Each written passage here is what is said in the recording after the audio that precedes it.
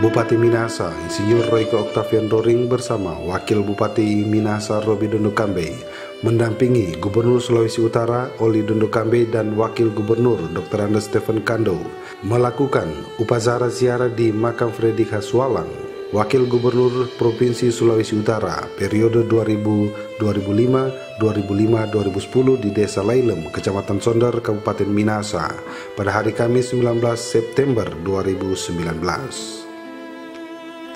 Turut hadir Wakil Ketua Tim Penggerak PKK Provinsi Sulawesi Utara Dr. Kartika Devitanos, Sekretaris Daerah Provinsi Sulawesi Utara Edwin Silangen, hadir juga Ketua Tim Penggerak PKK Kabupaten Minasa Dr. Anda Feni Roring Lumanau, jajaran pemerintah Provinsi Sulawesi Utara, jajaran pemerintah Kabupaten Minasa, serta keluarga besar Sualang Pangemanan.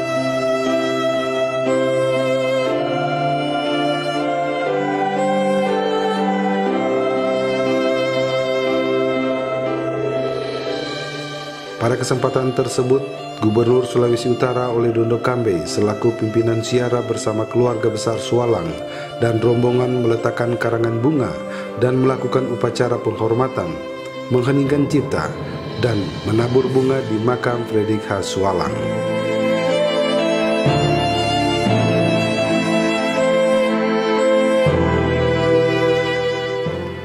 Sulawesi Utara Oli Dondo Kambe yang didampingi Bupati Minasa kepada sejumlah wartawan menyampaikan bahwa kita tidak bisa melupakan apa yang pendahulu-pendahulu kita sudah kerjakan.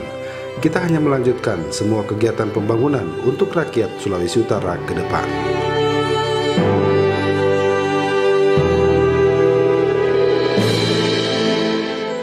Yang tadi saya baru ke Gubernur Abewora, sekarang ke Pak almarhum Freddy Sualang.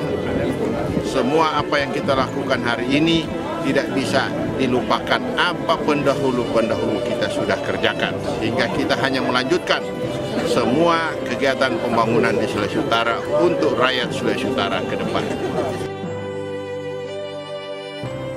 Dari Minahasa, tim Sulut News TV, Christian Tangkere melaporkan.